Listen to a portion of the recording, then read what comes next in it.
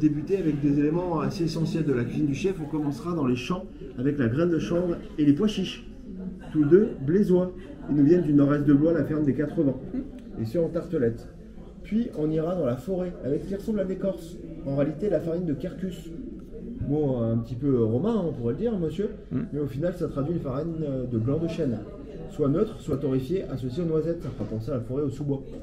Pour terminer dans le jardin avec les topinambours, dans toutes les façons possibles. Farci à lui-même, pané à une version frite de lui, et la peau utilisée telle une émulsion froide. Vous pouvez le tremper dedans et finir à la cuillère le cas échéant. Alors, vous avez peut-être vu que vous avez fait presque un kilomètre dans la forêt avant d'arriver là, si Oui, vous êtes alors, passé par fait- l'autre entrée. Tout à fait. Et ben l'idée c'est qu'on garde ce lien avec la forêt. Ouais. Et nous, on aime beaucoup le lierre terrestre qu'on va chercher nous-mêmes. Le pain feuilleté et le beurre sont tous deux au lierre terrestre. Le beurre, il est fermier salé de Cheverny, de la ferme du Fresque, qui est à côté, un petit Mhm. kilomètre à vol d'oiseau. Et l'autre, c'est la boulangerie Boulet Paris.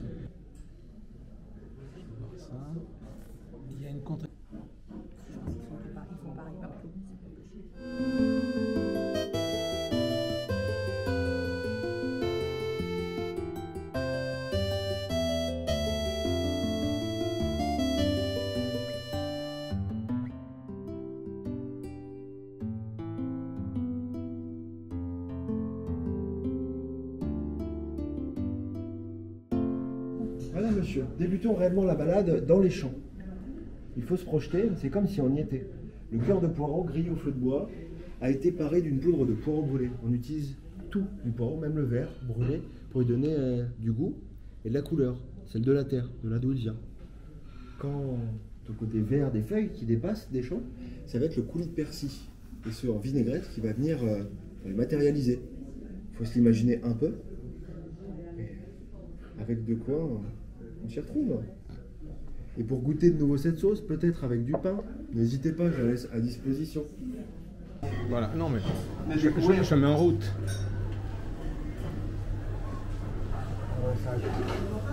Chef, vous avez un peu de visite et vous êtes filmé. Bonjour monsieur, Bonjour. bienvenue, comment allez-vous? Bah, pour l'instant, ça va très bien.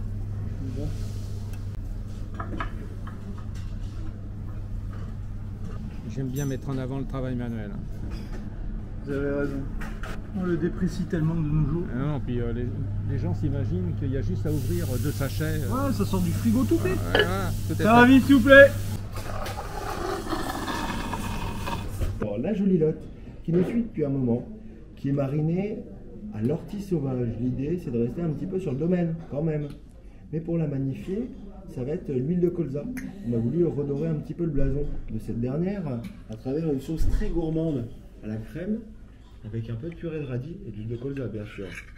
Pour rafraîchir et équilibrer le tout, ce sera euh, les échalotes au vin blanc avec une pointe de citron.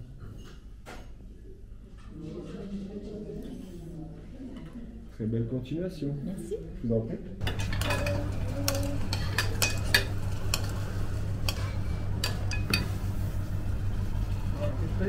Un chef, les cônes on les a Non chef. Fais-tu des bains à sa planche S'il te plaît, bleu. Pas la rouge. Juste la bleue et le plateau. Oui chef.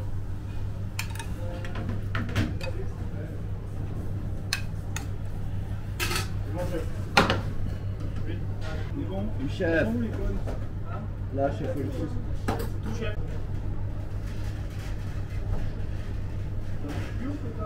Comment, chef?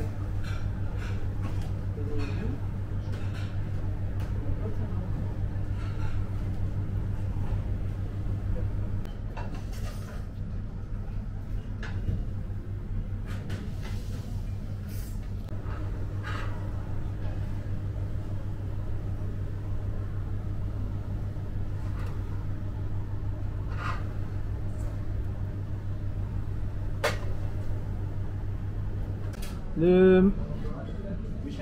Le cappuccino et, la sauce.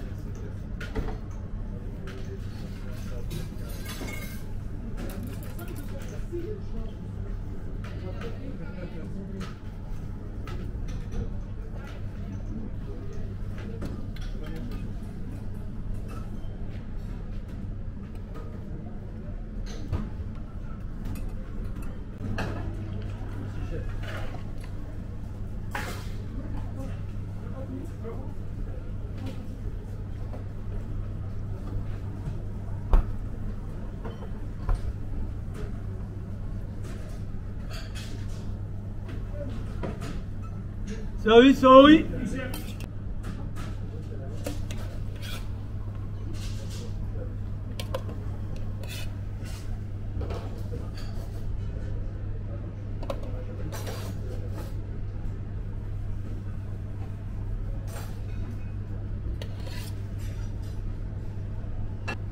Voilà pour monsieur. Oui, chef. Monsieur, je crois qu'il va même pouvoir euh, annoncer lui-même le plat. Il a tout vu, ou presque, sa préparation, pas forcément ce qu'il y avait en amont. L'idée, c'est une dualité entre deux facettes du céleri. Côté plutôt euh, pur, si je peux dire, du produit, cuit à l'étouffée, c'est le côté plus clair face à vous. La puissance aromatique, ce sera en haut avec un céleri confit, caramélisé, farci à une purée de lui-même rôti. Pour le lier, un jus et un cappuccino de céleri, bien sûr. Belle continuation. Merci.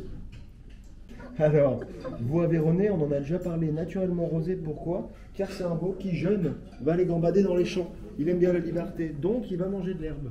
Ça va donner du goût et de la couleur. Associé au chourave. Chourave et réfort, un yaourt de réfort exactement, qui va venir lui apporter un peu de saveur. Relever le chourave avec euh, un jus de veau. Simplement. Voilà. Très bien. À disposition, bien sûr, j'ai envie de dire, au cas où. Des Alors l'oignon pour lui-même, le sang de toutes les attentions, entier, confit, frit, en pétales, associé à un bouillon, au saveur bien sûr d'oignon, mais également euh, des notes de sous-bois, de bois avec les cèpes, cèpes séchés en bouillon, mais aussi en tombé, qui lui sert de piédestal, si je peux dire.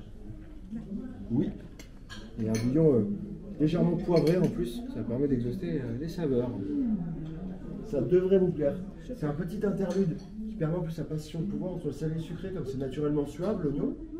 Ça permet euh, d'apporter de la douceur et une transition. Poursuivons, si vous voulez bien, avec euh, un prémisse, des desserts. Une alvéole comme si on avait été chercher euh, bah, un morceau de nos ruches pour vous l'apporter.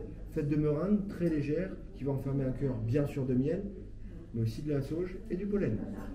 On se rafraîchit et après on passe aux choses plus sérieuses. Jean et Pierre. Et non Jean-Pierre. Oui, et ben ça va pas le faire. Et comme on peut changer les convenances pour les anniversaires, je servirai la sauce à monsieur d'abord. Avec euh, la pomme, pomme de variété Canada. L'idée, c'est de la caraméliser, de la cuire au beurre, de l'adoucir avec la feuille de figuier et lui rapporter un peu de crème pour faire penser peut-être à une certaine tatin. Ce n'est qu'un clin d'œil.